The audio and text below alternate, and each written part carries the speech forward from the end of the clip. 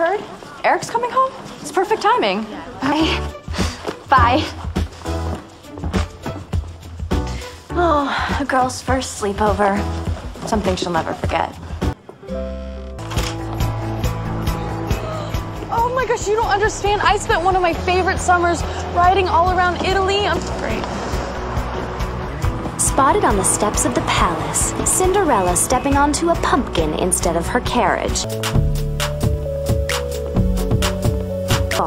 Hope that Hello Kitty sleeping bag doubles as a parachute.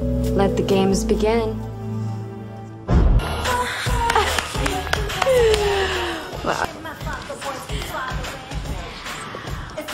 Martini. Oh, don't you worry about that, little J. Just drink up. You're lagging behind. Now put to the test by one queen bee. Will J take the bait and go from Brady to Brittany? Ooh, and another one. Sorry, Joe. That's game. The hedge fund mafia in here. I thought Matchy Matchy was over. So, Did you see Jenny or your brother? No. Are you her? Are you Claire? What? wrong with you? This is not who you are. And who are you? we're leaving. I'm coming. That's right.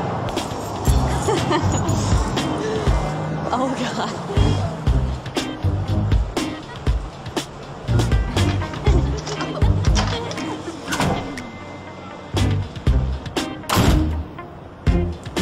Bye. Okay, come on, Robin.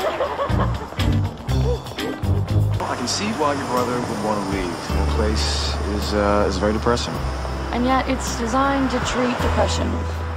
He's a good kid, Eric. He is. Yeah. Jenny's not so bad either. Yeah? If Blair's gotta watch her back, Serena needs to keep an eye on her heart. We hear it may have been stolen by Lonely Boy. Putting out an APB, Gossip Girl.